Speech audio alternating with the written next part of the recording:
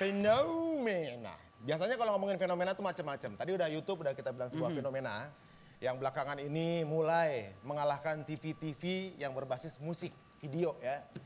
Tapi fenomena yang sekarang sedang hype di Indonesia adalah fenomena boy band. Boy band.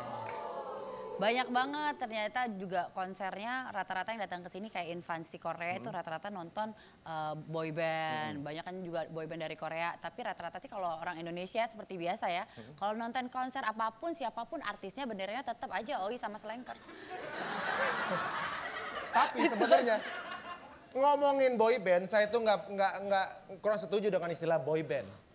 Karena mereka tuh nggak ngeband. Mereka cuma boy doang. Dan ditambah mereka tuh kerjaannya nggak fair. Kenapa? Yang kerja cuma penyanyi utamanya doang. Sisanya? Kayak gini. Yang sisanya tuh bener penari doang. I want it that way. You want. Belum, belum, belum. Depannya doang. Sampai-sampai band di Indonesia juga ketularan. Band di Indonesia itu seperti udah seperti dancer sebenarnya.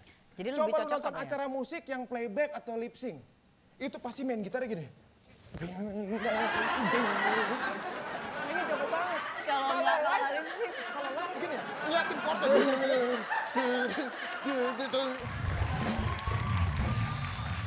Saya akan berikan informasi mengenai boy band di dunia dari awal sampai akhir ya. Pertama adalah New Kids on the Block. Mereka adalah boy band. Terima kasih. Lagunya kalau tahu, Please don't go. Iya. Biar kelihatan. Oke. Ini adalah lima pemuda yang dibentuk tahun 84 dan mereka sangat fenomenal sekali. Setiap cewek yang melihat mereka jerit-jerit, nyobakin baju, angkat rok. Yang kedua, Take Berikutnya. That, Take That. Tahu nggak soal Take That? Take That tahu. Tahu. Nah, Take That adalah sebuah boy band dengan single utamanya yang sangat terkenal sekali itu Back for Good. Touch your back, your back for good. Back itu di belakang, Belakang. good itu bagus. Yang di belakang-belakang selalu bagus.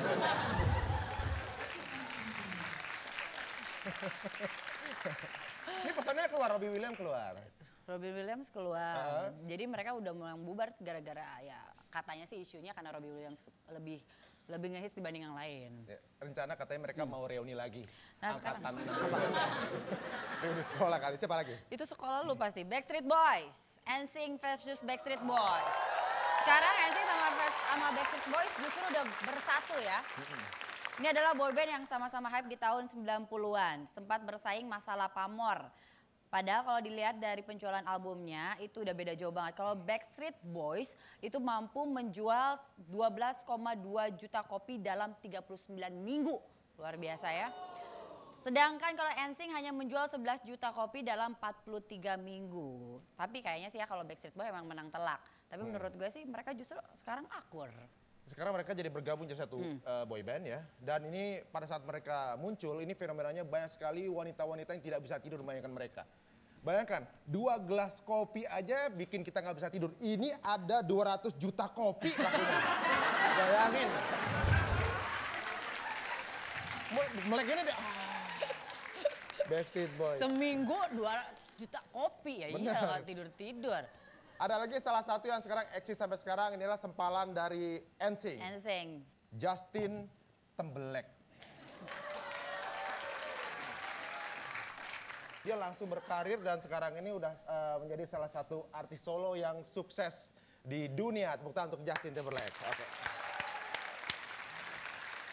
Tapi, menurut sepertinya- gue, menurut gue banyak banget boyband boyband yang keren. Salah satunya ada di sini. Apa tuh? Pengen lihat gue penampilan boyband yang keren. Mau tahu boy band apa? tahu banget. Saya akan kasih tahu kalau saya bukan sekedar tahu soal boy band, tapi memang saya benar-benar anak-anak boy band. Saksikan.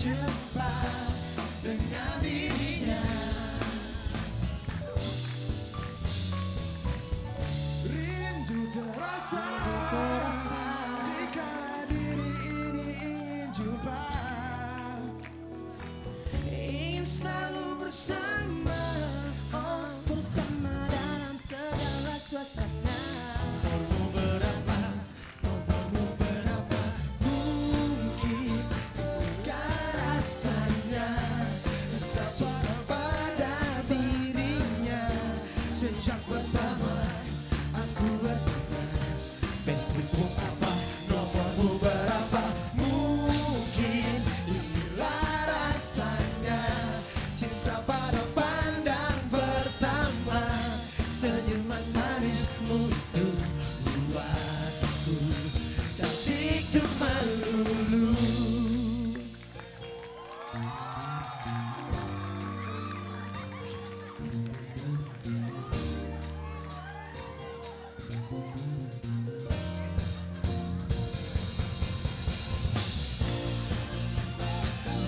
know me